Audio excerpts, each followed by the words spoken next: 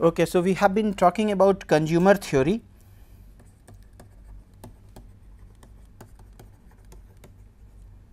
Continued and we have talked about four building blocks. Let me just revise those blocks. The first block is consumption set. Okay? The first block is consumption set or choice set fine. The second building block is feasible set and when we have just the monetary constraint then feasible set can be given the other name that is the budget set. Okay. And third building block that we are going to focus our lecture today although I will talk about little bit about consumption and choice set, but mainly I will focus about preferences. And the fourth block is an assumption about human behavior.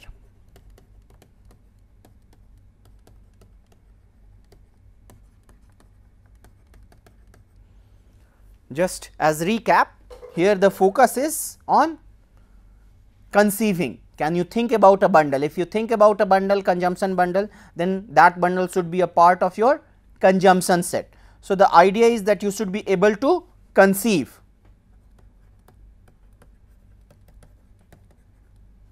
How about here? The idea is that you can you should be able to achieve or you should be able to afford. And preferences I am not going to talk about now right now because the focus will be on preferences. And how about this assumption? Human behavior.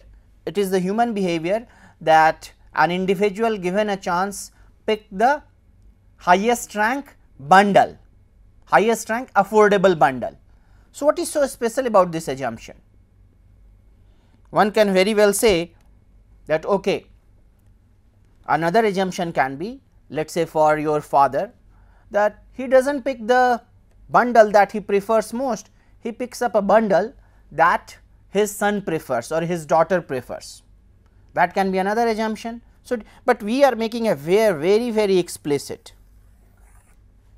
that individual picks up a bundle that is affordable and ranked highest among all the affordable bundle according to his own choice, his own preferences although we have not talked about preferences not because someone else has ranked it in this way. So, how can we take care of, but you see in real life we experience and we observe where a father does something for his son that may not be you know that may not be most preferred for himself, but still he does it. So, how can we explain this? We will be able to take care of such problem using that father has a special kind of preference. That father gives weightage father's preference gives weightage to son preference, but we will not tinker with this assumption. We will go with this assumption. Okay, that a person picks up highest rank bundle among the most among the affordable bundles that we will not tinker with this assumption. But it is not limiting as I told you it is not limiting that if you know other problems most of the time can be accommodated using change in preferences. But even before we start talking about preferences little bit of time I want to devote on consumption bundle.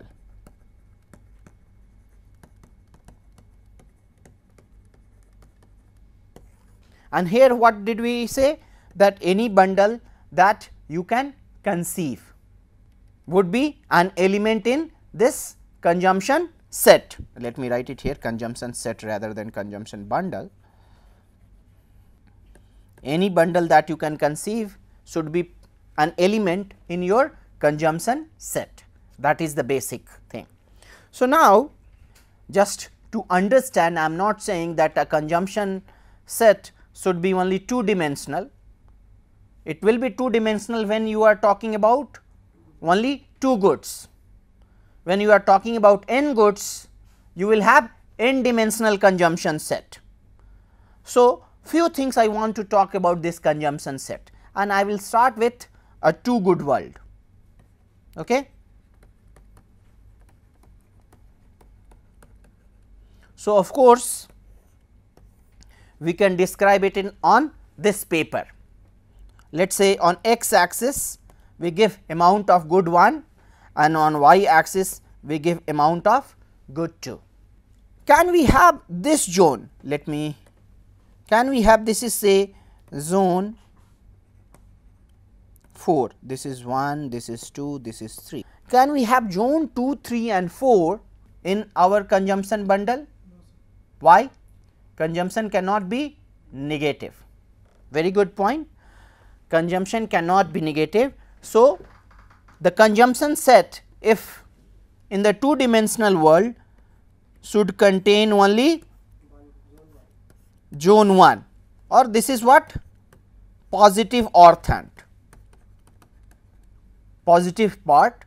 When we are talking about n dimensional world then we have to say positive orthant and what does it mean that x i and x i is what ith good let us say let me just spend few moment with the notation let us say now we are talking about n dimensional consumption set. It means we have n goods available in the market and we are talking about the bundle that we can conceive in n dimensional world. So, let us say there is a bundle x. What does it mean? A bundle of course would contain amount of all the available goods and so it is denoted by let us say x 1, x 2 and to up to x n. In this special case n is equal to 2, but here I am talking about a general case. So, positive orthant means that any x i has to be greater than or equal to 0. Consumption of a good cannot be negative.